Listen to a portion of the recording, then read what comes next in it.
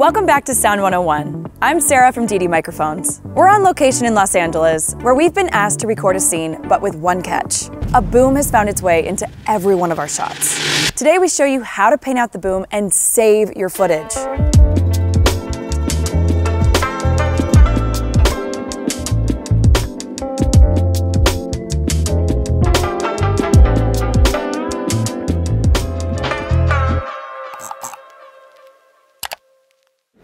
Before we explain how to remove the boom from your shots, let's talk about how to shoot clean plates and the three shots we set up based on the most likely scenarios where you would need to use them. Our guest is here to explain what clean plates are and why they're so critical.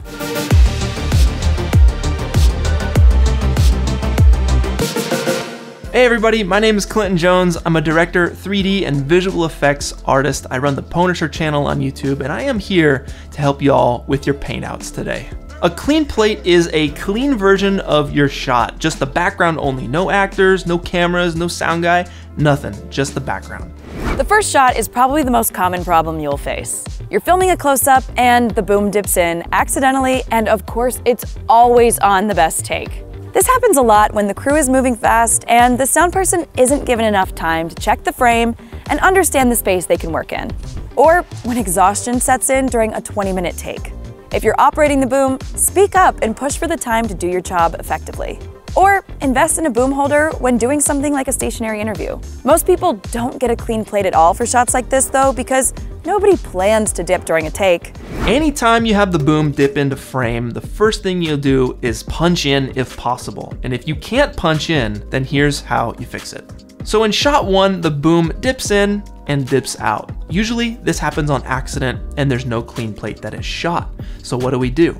So in After Effects, I'm gonna draw what's called a mask around the object we wanna remove and subtract it from the footage. Now that leaves us with empty pixels and those pixels need to be filled with a clean plate. And since we don't have one, I'm gonna use what's called content aware fill. Content aware fill will actually look at that mask, fill in those empty pixels based on the footage, and now you have a clean shot. The second shot that is needed today is an extreme wide on sticks, or a tripod. The camera is locked off and won't be moving. For the purpose of this video, we won't be using lavs to show you how powerful clean plates are. Ideally, if you're working on a professional set, you would also have a lavalier system. For this shot, we placed the boom operator off to the side and committed to cutting them out later. Before doing this, have a conversation with the director, producer, and post supervisor. We talked to the director to confirm that this won't restrict their creative vision. If it does, where can your ideas meet in the middle to maximize creativity and quality? We then talked to the post supervisor to see if this is even possible in the current shot, and to confirm what other assets we'll need to capture, like clean plates or 3D scans. Finally, we'll need to take all this information to the producer and get it approved by them. This decision will cost time and money, so they need to know about it. With this approved, the boom operator positions themselves where they aren't casting shadows on the actors and are not standing in the shadows of the actors themselves. The actors and boom operator then clear the frame, and the camera operator captures a clean recording of the background. This is the crucial asset you'll need for post.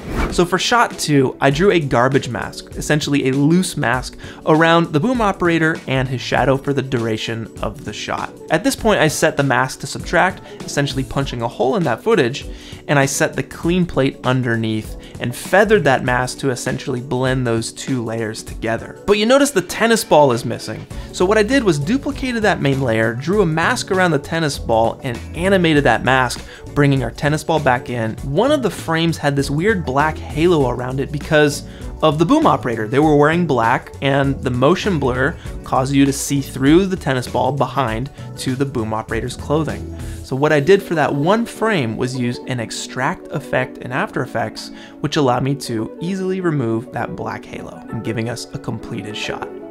The third and final shot is naturally the most difficult. The director has requested a wide trucking dolly shot. Again, for the purposes of this video, we don't have a lav, so we'll need to paint out the whole operator and boom. The main difference between this shot and the last is that the background and camera are moving. A static garbage mask won't cut it.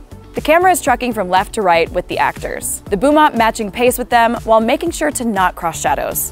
For clean plates to work, they need to match the layer they are replacing. The composition, lighting, color, and especially movement have to be the same.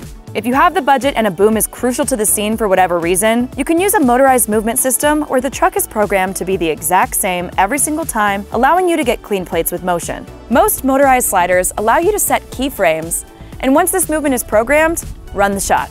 Be mindful of shadows and make sure your boom doesn't end up in front of or behind the actors. Note that this is more expensive and complicated than just renting a lav system though. We're showing you this as an option. Quick tip here, if possible, shoot a clean plate after every take. That way you ensure that your clean plate's lighting is as close to the shot you're gonna use as possible. Shot three, I actually separated into two halves, a bottom and a top. For the bottom bit, I followed all the same steps as shot 2. I drew that garbage mask around the boom op in a shadow, keyframed the mask, animated it over time, made sure it was feathered, and placed the clean plate underneath. And for the top half, I followed those same steps, but I noticed the clean plate in the footage didn't line up because the lighting had changed and the wind didn't line up. You can't match the wind on these leaves here. So what I did to fix that was expand the mask and really feather it. That way it hid that seam nicely. That took care of the top bit, but there were still some trouble areas down by the trash can, mainly because the lighting had shifted. So I duplicated the clean plate, brought it all the way on top, drew a garbage mask around the garbage can, and feathered the heck out of it, and that completed our shot three. If you guys want to learn the ins and outs of visual effects and 3D animation, come on over to my channel, youtube.com slash pwnisher. There's a link down below. It's going to be a good time. We got 3D montages, we got breakdowns, we got all the stuff. It's going to be sweet. Hopefully that was pretty comprehensive, but if you have any questions, drop us a comment below and we'll try to help you out. Until next time, subscribe and happy shooting.